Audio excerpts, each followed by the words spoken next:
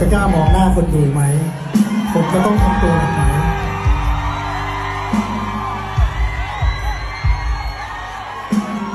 ก่อนผมจะมาเล่นคอนเสิร์ต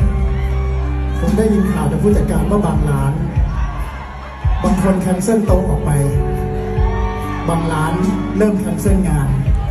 ผมไม่คิดว่าวันนี้จะมีคนดูด้วยซ้ำใช่ปะไม่ว่าอะไรก็ตาม คุณคือรอยยิ้มแรกของช่วงนี้ของผมนะครับ ขอบคุณมากๆนะครับ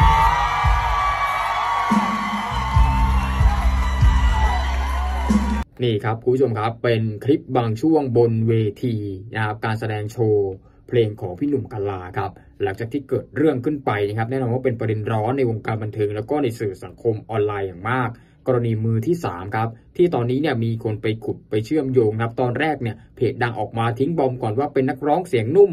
พาภรรยาน้อย พาเมียน้อยไปเที่ยวต่างประเทศนะครับ มีภาพหลุดออกมา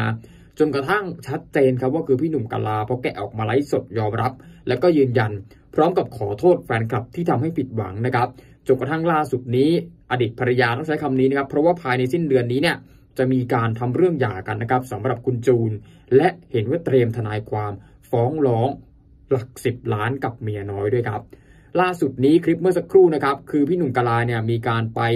เล่นคอนเสิร์ตนะครับที่สถานบันเทิงในจังหวัดเชียงรายครับ หลังจากเกิดข่าวฉาวขึ้นเนี่ยพี่หนุ่มพูดบนเวทีคอนเสิร์ตเลยครับว่า ตนเองเนี่ยจะกล้ามองหน้าคนดูได้ยังไง จะยังมีคนมาดูตนเองเล่นอยู่หรือเปล่า ก่อนจะมาเล่นคอนเสิร์ตเนี่ยได้ยินข่าวจากผู้จัดการบอกว่า บางร้านที่จ้างไว้ ลูกค้าเริ่มติดต่อมายกเลิกโต๊ะ บางร้านถึงกับขอแคนเซิลงาน ผมไม่คิดว่าวันนี้จะมีคนมาดูด้วยซ้ำ ขอบคุณทุกคนที่ยังอยากมาดู ขอให้รู้ว่าทุกคนคือรอยยิ้มแรก ๆ ในช่วงนี้ของผม ขอบคุณครับ นี่นะครับ ก็ถือว่า ไปดูคลิปเต็มๆครับ ผมจะกล้ามองหน้าคนดูไหม ผมจะต้องทำตัวแบบไหน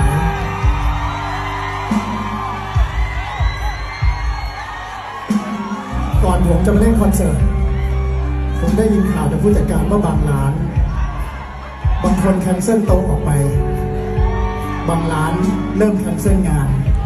ผมไม่คิดว่าวันนี้จะมีคนดูด้วยซ้ำใช่ปะไม่ว่าอะไรก็ตาม คุณคือรอยยิ้มแรกของช่วงนี้ของผมนะครับ ขอบคุณมากๆนะครับ